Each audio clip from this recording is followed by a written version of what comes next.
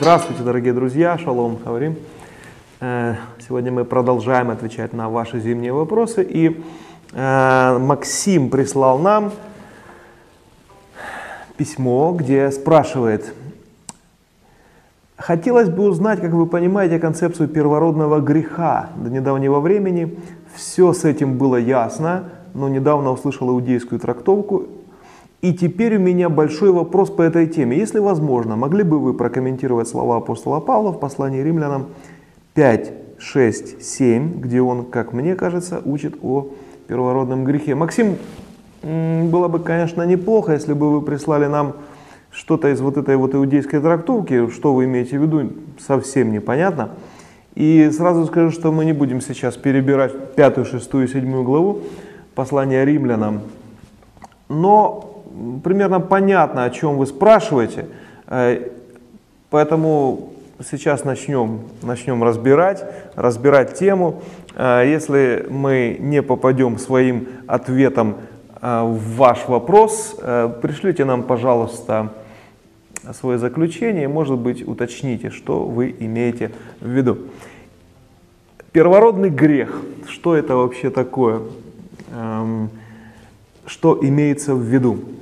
Термин этот, собственно, не библейский, эм, это такой технический термин, и он был введен в обиход э, Августином аж в конце IV века. Вот представьте, насколько давно все это было. С тех пор э, вот это понятие первородный грех, вот оно так гуляет в проповедях, в песнях, в стихах, поэмах, в метафорах и так далее. И вот в вашем вопросе, и теперь уже еще и в нашем ответе.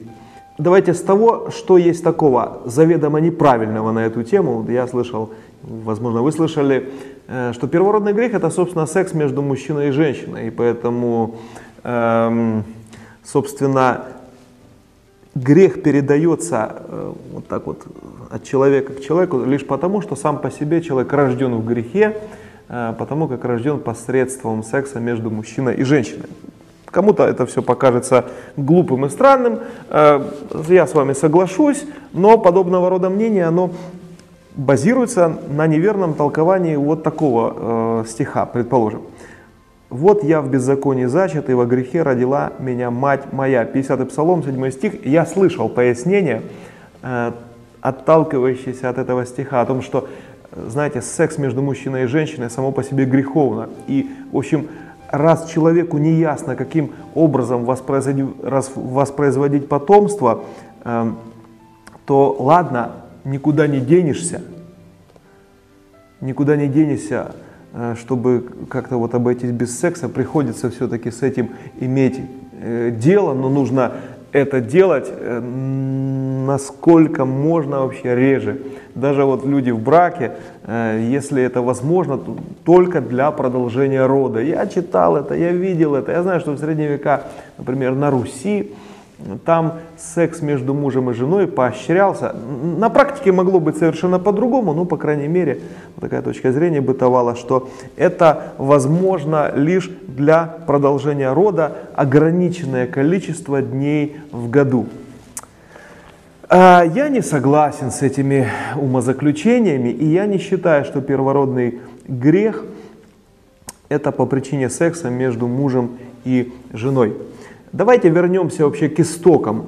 Итак, э, первая пара людей, Адам и Ева, они имеют от Бога заповеди, э, точнее одну, э, не брать с плода. То есть запрещающую заповедь одну Бог им разрешил, повелел ухаживать за садом, разрешил, повелел давать наименование растениям, животным. И вот одна заповедь она запрещала.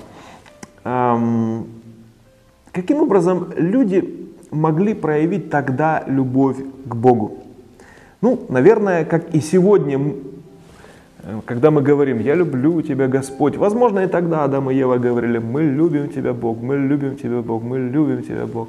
Но знаете, обычно слова это, вот они имеют ценность и вес, когда они завершают какое-то дело, являются завершением какого-то дела. То есть подчеркнуть свою любовь к Богу, уважение к Богу, э, дать ему понять, что его воля ценится мною больше, чем любая другая, чем моя собственная, чем воля любых из тех, кто живет э, в этом мире, это послушаться Бога в противовес всему тому, что пытается нас вывести э, в другое решение. И им нужно было не есть тогда и тем самым показать и, в общем-то, без слов дать понять Богу, что, Боже, мы Тебя любим, мы Тебе послушны, мы Тебя уважаем, ты нам сказал, видишь, мы делаем. И можно было в конце добавить, мы любим Тебя, Господь.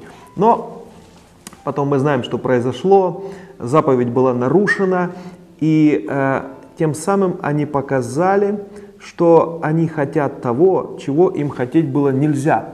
Э, они не верят Богу, они не поверили э, Всевышнему, сказавшему о том, что смертью умрете, и поверили противнику, наговаривающему на Бога, говорящему, ничего, будете живы и будете такими же, как Бог. Все. Вот это вот, все знают, что это вот такой вот, таким вот был первый грех, такое было первое греховное деяние. Хорошо, грех. Когда мы посмотрим древнееврейский оригинал, это слово звучит как хет, и что оно значит э, в прямом своем значении? Это значит промах. И потом, когда это все переводится на греческий язык, и там слово такое гамартия, то одно из значений этого слова тоже промах. Представьте себе, у каждого из живущих, вот для каждого из, из живущих у Бога есть цель. Мы иногда любим говорить, есть план для тебя, у Бога для тебя есть план – какова эта цель? Эта цель, ты родился, ты взрослеешь, ты живешь, у тебя есть некий предел в жизни, но ты можешь не закончить свою жизнь, а, скажем так, ты можешь продолжать жить вечно со Всевышним, если в течение той временной жизни найдешь Его.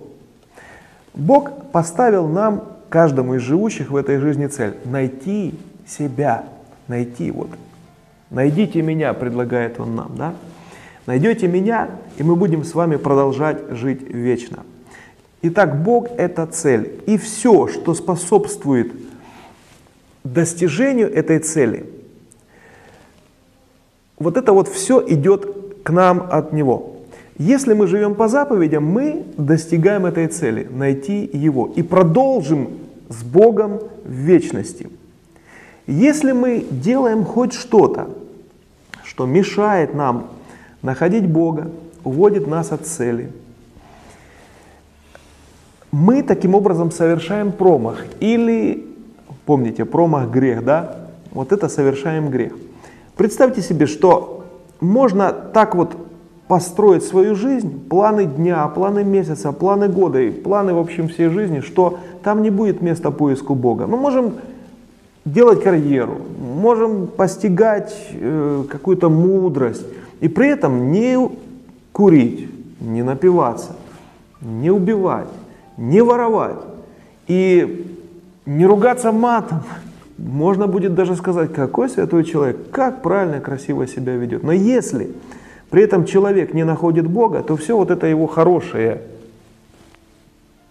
все то, что он считает правильным, все то, по причине чего он себя считает безгрешным и святым, все это не позволяет ему достигнуть той цели, которая есть Бог.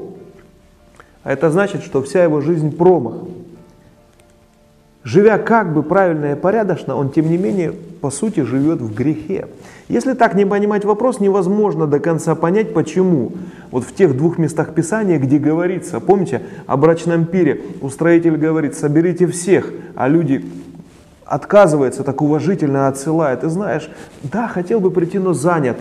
Да, э, хотел бы прийти, но женюсь, поэтому может быть в другой раз. Или э, в той ситуации с Ноем, когда Ишуа приводит эту историю, он говорит, что как и в случае с Ноем, когда буквально накануне потопа можно было войти в корабль, корабль это была как цель.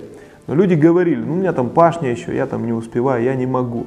То есть здесь показано, что они были вежливы, да, но они не имели той настоящей цели, видение которой может открыть только Бог. Снять нас с слепоту и показать, стоп, стоп, смотри, вон цель, ты упускаешь ее, иди туда, и ты спасешься ты продолжишь в вечности. Знаете, я вспоминаю сейчас фильм, буквально говорю, вспомнил э, замечательную такую веселую трилогию американскую, которая называется «Назад в будущее». Там вот такая машина, которая разгонялась по рельсам, и там что-то происходило на атомном уровне, и она вылетала в другое время. Но если не успеть произвести определенные манипуляции, она ударялась в стену, в барьер и так далее. Не успевала, как говорится, из одного времени перейти в другое. Вот эта жизнь наша, это как движение этой машины. И если ты нашел Бога, ты перейдешь в вечность. И если не нашел, да, ты тоже будешь в вечности, но в вечности ужаса. И Всевышний кораблем, спасшим тех восемь от потопа, этим пиром, показывающим, что с Богом у нас будет триумф, радость, общение с хозяином, конечно, имеется в виду Господь, с хозяином пира. Вот эта цель, куда нас зовут, целеустремление всей твоей жизни, Господь. Вот жить так, это быть не в грехе. Быть хорошим человеком, примерным работником, отличным семьянином, отцом своих детей, но не находить Бога – это жить в грехе. Первородный грех в таком самом обычном своем понятии – это жить без цели найти Бога. Это все-таки направить всю свою жизнь на что угодно, но только не на то, чтобы найти Всевышнего. Мы рождены так, что по умолчанию в нас этого нет, искать Бога. Мы рождены грешниками, то есть мы рождены так, что если нас извне не надоумить, мы будем катиться мимо цели, просто потому что не знаем о ее существовании. И, конечно же, не будем ее достигать. Ведь Бога нужно искать. Нельзя просто катясь куда-нибудь случайно прикатиться к Богу. Извне должен поступить какой-то сигнал. В Писании написано, а как услышать без проповедующего, да? Э, как поверить, если не услышите, и как услышать без проповедующего? Вот такой вот он скрытый, мягкий, ласковый убийца, этот первородный грех. Это вовсе не какой-то такой, знаете, отвратительный грех, который считают э, грехом, наверное, все народы земли. Это, это не украсть, это не оскорбить, это не убить кого-то. Это просто жить, иногда даже обычной, нормальной жизнью, но не искать Бога. И таким образом не попасть в цель ради, ради достижения которой, собственно, и сотворена твоя и моя жизнь. Да. Эм, по поводу вот этого вот уточнения на тему того, что в иудаизме э, существует несколько иная трактовка. Знаете, я и, и здесь добавлю, скажу, что, э, конечно, иудаизм много пишет о грехе, э, поэтому может быть, вы увидели отличное в иудаизме от того, что читали в христианских источниках, лишь потому, что прочитали не все, а что-то, что-то отдельное, другое. Но, кроме всего прочего, э, здесь можно сказать следующее. Э, в целом, в иудаизме призывают разобраться в том, что есть комплект заповедей, утверждается, что их 613, и стараться жить так, чтобы как бы вводить их э, в свой быт, вводить в свою жизнь, вводить в расписание жизни, чтобы э, как бы постепенно становиться все более и более исполняющим эти заповеди. Здесь можно сказать и да, и нет. Да, потому что да, надо стараться изучать Писание, разбираться в том, что Бог велит делать нам и стараться это делать. С другой стороны, я хочу сказать, что Э, ни в коем случае нельзя полагать дело своего спасения э, лишь к исполнению заповедей. Нельзя спасти самого себя. Не получится исполнением заповеди проложить себе дорогу в вечность. Эм, да и само по себе исполнять заповеди можно лишь, уповая на Бога, Э, прилепляясь к нему, э, прося у Него силы жить правильно, потому что то в нас, что катит нас мимо Божьих целей, оно не позволяет нам жить правильно и жить в заповедях. И однажды ученики, выслушав объяснение Иешуа на тему того, как праведно жить, они сказали, кто это может вообще? Он говорит, это вообще никому невозможно. И, наверное, среди них раздался вздох разочарования. Но потом он добавил, что но Богу возможно все. Мы можем быть угодны Всевышнему и можем идти дорогой, ведущей к цели, то есть дорогой э, исполнения заповедей, дорогой упования на Бога, дорогой, э, знаете, любви к Нему, дорогой служения миру, где мы доносим любовь э, Всевышнего к другим, желающим этой любви. Все это возможно лишь, когда ты всецело надеешься на Бога. Вот это умение надеяться на Бога, умение уповать на Бога, умение принимать от Бога, это большое умение, и верующие в этом возрастают всю жизнь.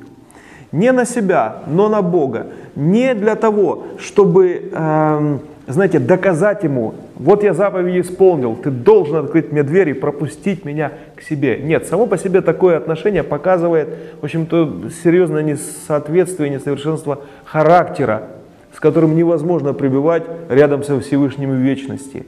Но учиться уповать на Бога, учиться смиряться перед Ним, учиться надеяться на Него, учиться не гордиться достигнутым, достигнутыми успехами. И при этом при всем стараться исполнять то, что Он велит нам. Вот это вот идти четко к цели, то есть жить не в грехе. Если при этом мы еще что-то по инерции, по инерции оставшейся у нас от э, пребывания в мире грешников, если мы еще что-то делаем неправильно, иногда что-то скажем не то, поступим не так, где-то не сдержимся, и кто-то может сказать, ох, смотри, грешат, как и грешили. Если при этом вот такие казусы иногда с нами случаются, но в целом мы движемся к цели, мы не грешники.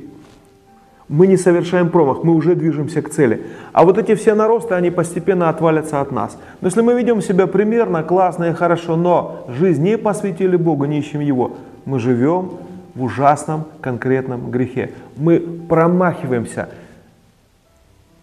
мы движемся не туда, мы не достигнем единства с Ним не проникнем в вечность. Мы не сольемся с тем, кто и есть жизнь и любовь. Спасибо, что выслушали, были с нами до конца. Шалом, присылайте вопросы, будем очень рады. Стараться отвечать, стараться вести диалог и хоть в чем-то быть полезными вам. Шалом. Дорогие друзья, если наш портал ieshua.org является благословением для вас, вы можете своими пожертвованиями принять участие в развитии этого служения. Наши реквизиты находятся на странице «Помощь» сайту. Мы благодарим вас за поддержку, и пусть Всевышний благословит вас.